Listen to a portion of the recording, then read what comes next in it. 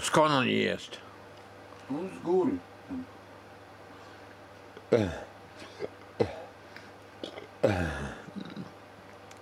Szanowny Państwu, Szanowny Panie Marcinie,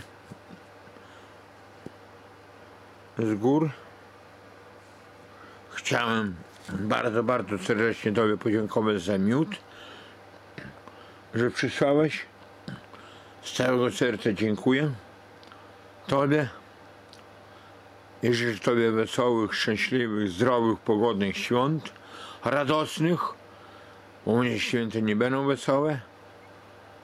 Może odejdę. I, I mnie nie będzie. Będzie dla ciebie smętno, nie będzie komu miodu przysyłać, nie będzie rozmawiać z kim. Tak. Przyjdzie wierszyk od człowieka, nagram ten wierszyk sprawiedliwy, uczciwy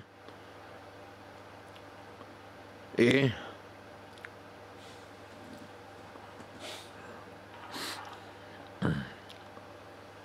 i będzie dobrze.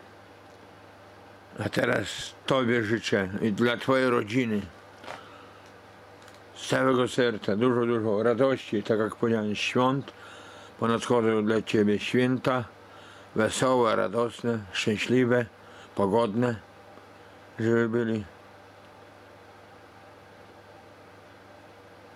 żeby weselił się z rodziną, śmiał się. Życzę Tobie z całego serca.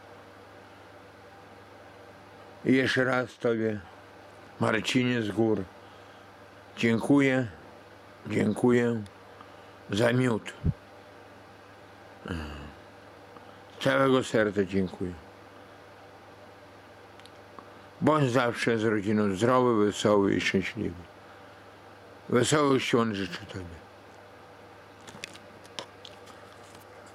I szczęśliwego nowego roku życzę dla Ciebie, dla Twojej rodzinki całej 2020-2021, a żeby nowy rok Tobie przyniósł dużo, dużo radości, dużo pieniędzy, dużo e, produkcji miodu,